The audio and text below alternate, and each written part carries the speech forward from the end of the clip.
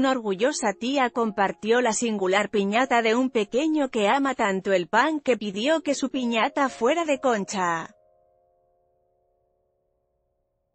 El niño dijo que quería que su fiesta tuviera por temática, la concha, porque le gustaba mucho y su deseo se hizo realidad.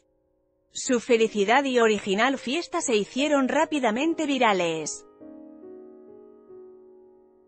Una piñata de concha, el niño vestido de concha y un pastel con la misma figura fueron perfectos para la ocasión, sin olvidar que el pequeño cantó una canción dedicada al pan y la concha.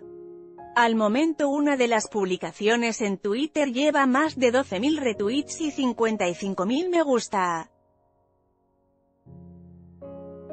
Definitivamente este niño tocó el corazón de más de uno, principalmente, de los amantes del pan por los comentarios tan agradables que tuvieron para con mi sobrino les quiero compartir este video en el que decidió también cantar una canción del pan jajajapic.twitter.com barra t0s2mgjzht Fer Barrera, arroba inferbi, 5 de julio de 2018 Cuando algo te gusta tanto, se nota.